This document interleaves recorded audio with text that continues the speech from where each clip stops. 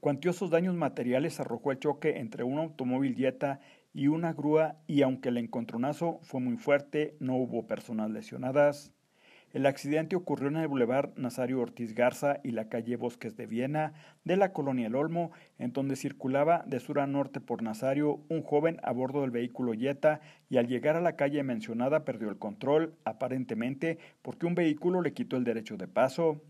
El joven volanteó y brincó el camellón y chocó contra el costado de una grúa que circulaba de norte a sur, provocándole daños en las válvulas. No hubo personas lesionadas, pero el automóvil quedó en pérdida total y el joven llegó a un acuerdo con el conductor de la grúa para pagarle los daños que le ocasionó. Con imágenes e información de Beto Treviño para RCG informó Eduardo Sarabia.